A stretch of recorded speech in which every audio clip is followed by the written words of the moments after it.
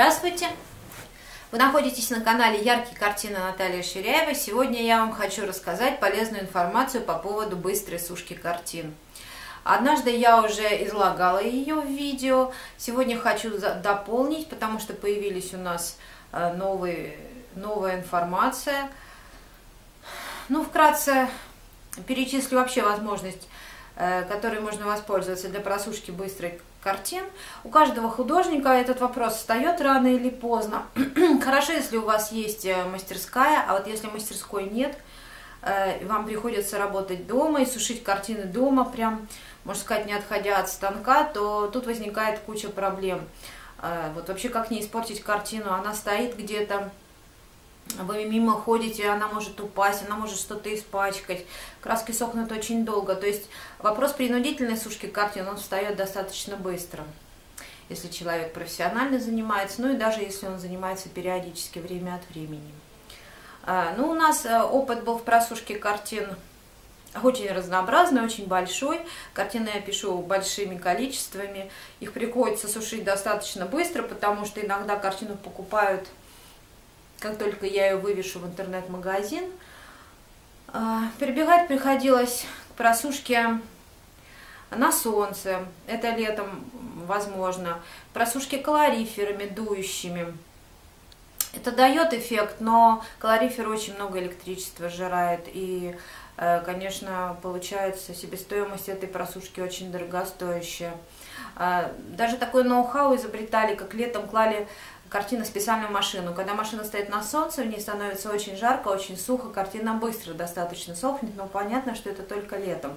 Когда мы жили в Азии, это было тоже актуально. В Таиланде там такая жара, что, в принципе, если картина 2-3 дня полежит в машине, то она высыхает сразу. Вот когда в холодном климате находишься, это, э, конечно, гораздо сложнее все.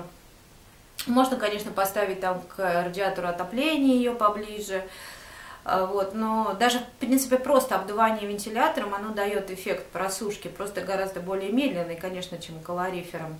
Вот. Э, но самое лучшее как бы, средство, которое мы для себя нашли, это оказался кварцевый электрообогреватель. Э, мы такую штуку приобрели в свое время во Вьетнаме, сушили картины там параллельно сами грелись. Очень классная штука. Она эффект солнечного э, излучения создает, инфракрасный. То есть даже на расстоянии трех метров ты ее ощущаешь, как будто солнышко на тебя светит в жаркий летний день.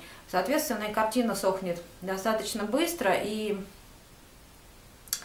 она, он не очень много электричества потребляет, меньше, чем калорифер дующий. А эффект в качестве просушки гораздо лучше. лучше. Этот обогреватель из Вьетнама мы привезли в Россию, сушили им картины вот полгода, э, с марта по сентябрь. Достаточно успешно, он у нас почти все время работал. У нас есть возможность сушить в отдельной комнате картины, то есть там всегда жарко из-за этого. В общем, такая хранилище и сушилка одновременно. Ну вот, короче, случилось и несчастье, перегорели в нем э, кварцевые лампы. Такого размера ламп здесь мы найти не смогли. И мы прям загрустили, потому что э, сушить картины нужно. Дующий вот этот вот он эффект не, не такой дает, гораздо более медленно, все это и еще электричество очень много потребляет. И вот мы вчера приобрели в Леруа Мерлен очень хороший кварцевый обогреватель. Вот от него коробочка, потом я покажу, как все это в действии происходит, сушилка. Не той стороной коробку показываю. Вот, вот, такой вот такая коробка, вот так вот он выглядит. Стоил он около 900 рублей, по-моему, 850. Вот. Ну вот написано на нем Цельсия. Но он китайский, не знаю, сколько он прослужит. В нем тоже две кварцевые лампы, как и в том обогревателе, который у нас был привезен из Вьетнама. Сейчас мы проводим эксперимент. Включили одну лампу и сушим картину уже сутки.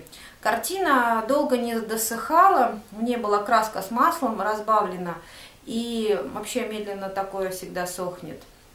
И вот за ночь она, в принципе, досохла получилось. Э, сейчас он включен на одну лампу, идет очень сильный нагрев, в комнате очень тепло, вообще очень хороший, очень мощный обогреватель. Вообще из всех видов обогревателей, даже вот масляные у нас были, куча всяких разных вариантов – Вот эти вот обогреватели больше всего нравятся. Даже просто квартиры, в квартире обстановку сделать более теплой. Сейчас я вам покажу, как это происходит на деле.